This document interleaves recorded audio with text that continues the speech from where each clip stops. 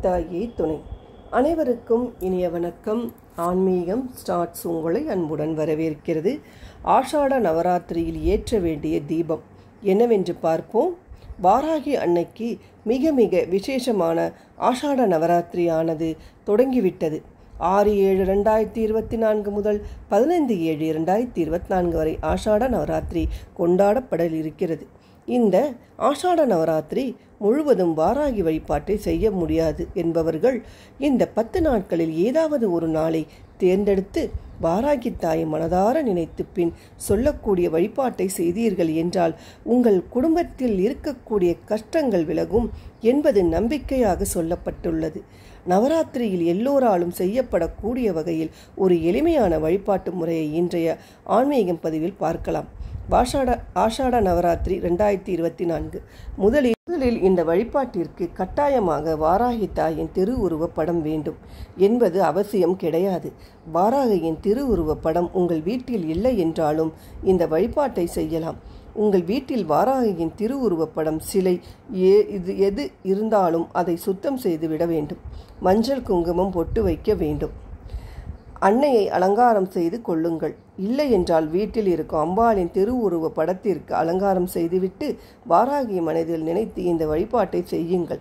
விரலி மஞ்சள் ஐந்து ஏழு ஒன்பது பதினொன்று இப்படி எத்தனை மஞ்சள் வேண்டுமென்றாலும் நீங்கள் வாங்கிக் கொள்ளலாம். ஒற்றைப்படையில் மஞ்சள் கொம்புகள் இருக்க வேண்டும். மஞ்சள் நிற நூலில் இந்த வழி மஞ்சளை மாலையாக கட்டி வாராகி தாய்க்கு சாத்திவிட வேண்டும். பூ பழம் விளக்கு தூபம் தீபம் வழக்கம் போல் பூஜைக்கு என்னவெல்லாம் தேவையோ அதையெல்லாம் தயார் செய்து வைத்து கொள்ளுங்கள். பிறகு இந்த ஆஷாட நவராத்திரி வீட்டில் ஒரு பிரத்யேகமான விளக்கு ஏற்ற வேண்டும். அதற்கு நவதானியமும் ஒரு ஜாதிக்காயும் தேவை. ஒரு தாம்பூலத்தட்டில் நவதானியத்தை பரப்பி வைத்து அதன் மேலே ஒரு மண் அகல் விளக்கை வைத்து நல்ல எண்ணெய் ஊற்றி திரி போட்டு அந்த எண்ணெயில் ஒரே ஒரு ஜாதிக்காயை போட்டு விளக்கு ஏற்றி வாராகி தாயின் மந்திரத்தை சொல்லி உங்கள் கஷ்டங்கள் தீர வேண்டும் என்று தீப தூப ஆராதனை காண்பித்து வழிபட வேண்டும்.